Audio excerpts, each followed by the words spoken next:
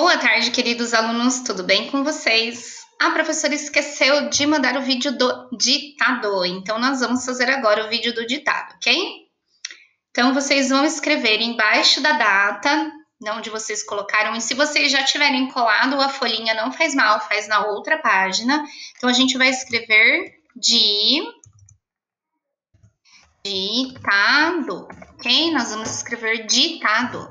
E aí a professora vai ditar quatro palavrinhas. Então põe número um, número dois, número três e número quatro.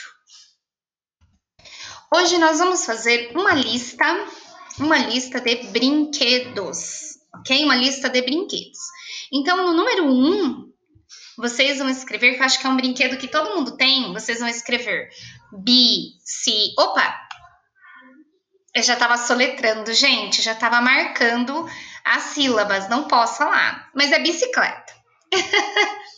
bicicleta. Na hora de escrever, vocês vão pensar nas sílabas, então pensando, bi, como é que eu escrevo bi? E põe aí, si, tá? Ai, não posso dar dica. Pronto. Então, a palavra número um é bicicleta. A palavra número dois é peteca. A palavra número dois é peteca.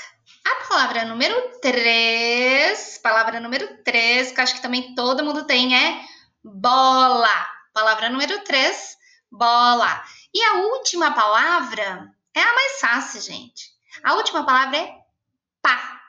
Sabe aquelas pazinhas de é brincar na areia, sabe? Pá de areia? Pá, pazinha. Então, a última palavra é pá. Somente pá, ok? Vou repetir. Um, bicicleta. Dois, peteca. Três, bola. E quatro, pá. Ok? Pronto, é isso. Terminando de escrever, cada um escreve do seu jeitinho do seu jeitinho, por favor. Ok? Pensa, vai fazer sozinho.